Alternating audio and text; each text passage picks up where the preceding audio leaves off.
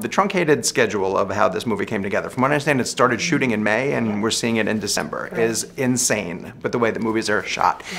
Does that affect your process at all, your preparation? Um, is it totally urgent on set? What did it do for you guys as actors? The only thing I noticed uh, in an immediate way was Steven Spielberg, every time there was any downtime between any setups, was in his trailer editing. Really? Yeah, Yeah, so there was a lot of that. that happening, and he said that the minute the movie was over, he was going right. I think they were backing up an editing bay into his driveway of where he was going to be, having a tiny little bit of a respite and a vacation, and they were going to bring the editing bay to him because there was that much urgency to.